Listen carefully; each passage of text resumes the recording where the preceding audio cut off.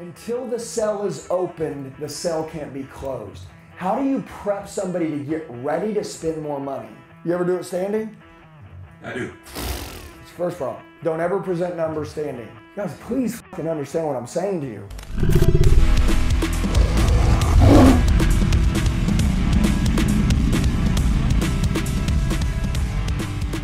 Give me some objections. Uh, what is this guy got? What do you got? What do you got?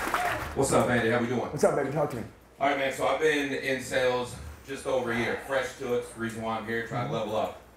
One thing I'm go- uh, I run into, it's a young company, HVAC sales. I get there, the pitch, they love everything, the price, eh, work through it.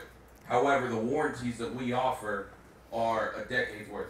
10, 10, and 10, right? 10 year parts, 10 year labor, 10 year unit replacement. You're getting all new stuff. You're a young company, you've been open for five years. How do I know that you're going to make it to the point when I need you in that warranty? Okay, so number one, he's saying he's in a home. Okay, does that make sense? He's in a seated position, right? Correct. You ever do it standing? I do. It's the first problem. In a seated position, everything is written, and that's how we close. Don't ever present numbers standing. We close on our seat, we, we sell on our feet. Mr. and Mrs. Johnson, I noticed a couple things that are concerning to me. I told you if I found something concerning, I would let you know. Where can we sit? You here? Is this where we're going to sit? And I'm going to sit here with you just like this. I'm going to set you here. And by the way, just so everybody's aware, if you're ever in a seated position, ever in any industry with somebody, you write it down. You get knee to knee with them. You close face to face. You, you never present standing up. Rule number one no numbers ever get presented standing up. How much is it? Well, there's a couple different ways we could go to really explain it to you. Where's a place we can sit down real quick? Because I want to explain it in case you have any questions. I want you to be able to interrupt me. Is that okay? Where can we sit? See, move them, shift them. Where are we going? Living room? We going to the showroom floor? We going to the F&I office? We going over here? Can we sit down over here like this? Does that make sense? You guys feel me?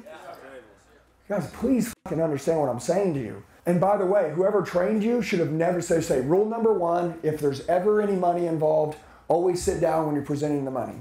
So for sure, like you like you asked me, have I ever done it standing up? Yes. Rule for the company is start at the table, end at the table. Always Okay. sit down and just Okay, good. So, so, but you have to respect those rules because those rules matter because that's how people operate. If somebody's going to say yes and spend money, you slow them down when they sit. I can say no very quickly to you and we're standing up. Like hit me with something right now. I'm like, no, I'm good. It's like we're standing up. So my goal is is that I want to find somewhere. And by the way, I always say this. Hey, I want to go over this with you real quick, and you're probably going to interrupt me and ask me some questions because we've got a couple different ways to go. Where can we have a seat? So then I'm going to pivot and find that place. Now, once I sit down, don't sit across from them. Just to let you guys know, always get knee to knee. So it goes like this there's a chair, table, chair. And I'll be like, hey, just so in case you have any questions, in case you want to interrupt me, can I slide around here? Is that okay? Can I come around here? Is that cool? Okay, great. And then I sit next to you. Now it's us here together. Now, can I put my arm around you here? Okay, I can control you.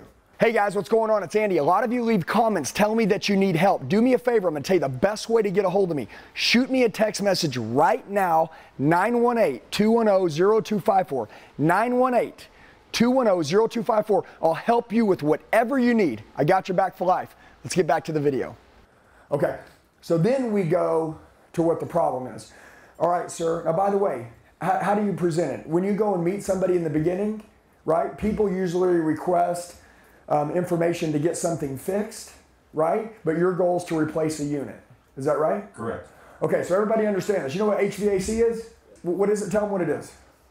Heating, ventilation, and air conditioning. So Okay. Furnace and air furnace and air. People are like, my shit don't work.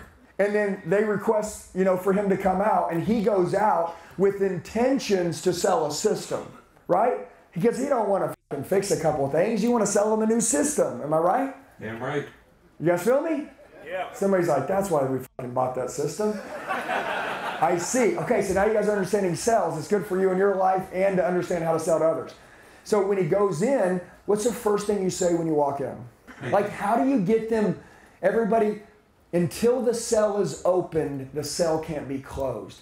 How do you prep somebody to get ready to spend more money?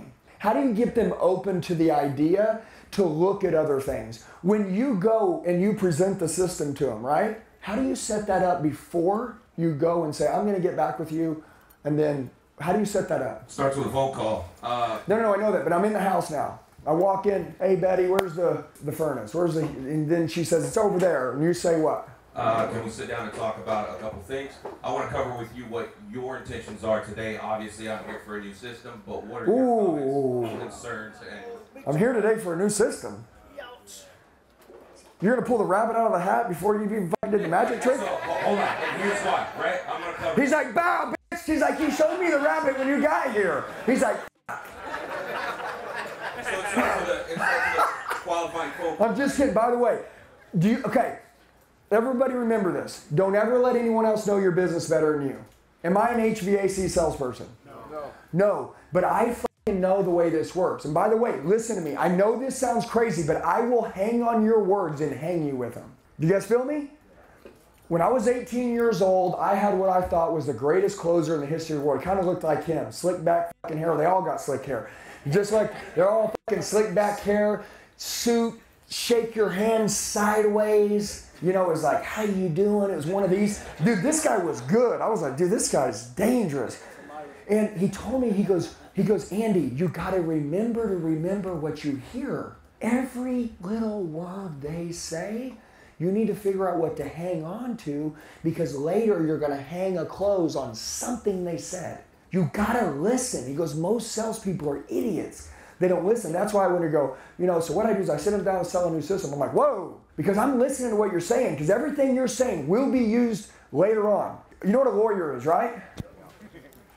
As A great salesman is like a great lawyer.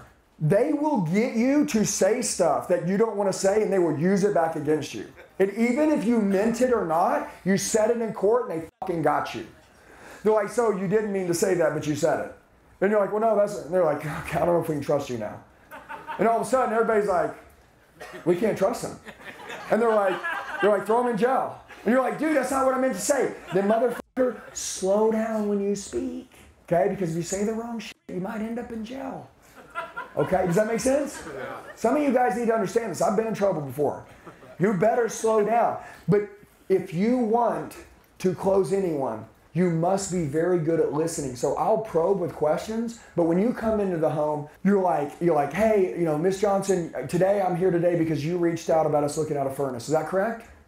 Correct. Okay, beautiful. Well, my name's Andy. Thank you so much for being with us. Our company is X, Y, and Z. So I just want to put a name with the face. Um, my goal today is to make sure that we fix that. Um, I want to ask you a question. If I see any other concerning problems, would it be okay if I made you aware of it today? Absolutely. That's the open. Does that's the open? Does that make sense? Now, now it's like it's like who- who- who's in the automotive industry? If I'm a service guy, I'm going to be like, today we're going to go ahead and do your tire rotation and your oil change. By the way, while we're doing those two, if we see anything that's concerning, is it okay for us to have the technician let you know? Yeah, they're like, yeah, let me know if you see something concerning. I'm like, beautiful. That's the setup, okay? So anyway, so now now you go look at the furnace. By the way, we're not trying to charge. Look, if it's a screw, I'm not trying to charge them a system. But if I look at it, like, dude, this system's nine years old, right? Like, dude, they need a new system. Okay, cool. Let's price out some parts, but these people need a new system. So I need to go sell that. Okay, now let's get to that. Does that make sense? Okay. Yeah. So now we're going there. You're, we're in a seated position. You're going through the cell. And by the way, you've been doing this for a year, so I'm not like playing you. I'm like trying to tell you because I want when you go home to just think like, man, what did Andy say? Like, how are we going to get this done? Um, so so now, where's the objection come in? You presented what the system cost, right? That's correct. All right, let's go. Mm-hmm. Options, price, everything like that. Yep. They're ready to move forward. However, they've had company X, Y, and Z come out. They've been, you know, in business for you know 90 some years. You know, we're a, a company that's only five years old, and we're offering a decade's worth of warranties. Okay. Why do I want to go with you when I don't even know if you can make it those next 10 years? Is that what they say to you?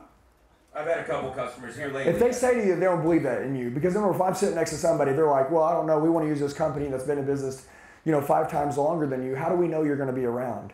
I'm like, what? Who have you been talking to? That didn't even make sense. Would you want to do business with somebody that has the new age stuff that lasts longer, that's more efficient, that saves more money? Or would you want to use the older stuff with the older companies? Probably someone newer, right? That's right. See, I made him say yes by shaking my head. I can get him to move where I want him to move. Listen to me. If they say, well, you know, I'm just giving an example. If I've been in business for, for 100 years, I'm going to say, listen, man, I've been in business for 100 years, okay? What we've learned is that a lot of companies come by, they offer lesser quotes, and they're fly by night companies. They promise you warranties, they tell you they're going to do it for this, but the problem is they're not going to be in business in two years.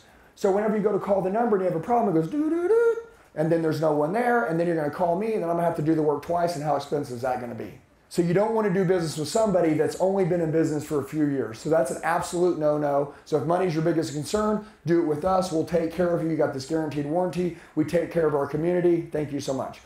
That would be that.